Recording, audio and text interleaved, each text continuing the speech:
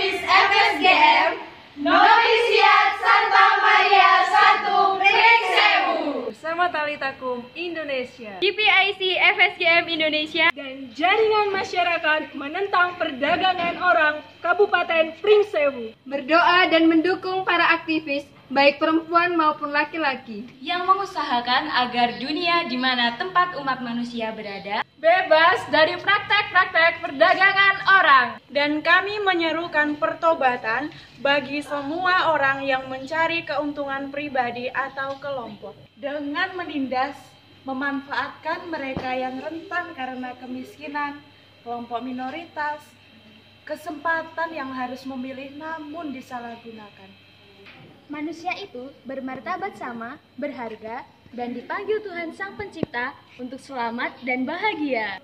Siapa pun yang mengusahakan kesejahteraan bagi semua orang tanpa pandang bulu, diberkati Tuhan.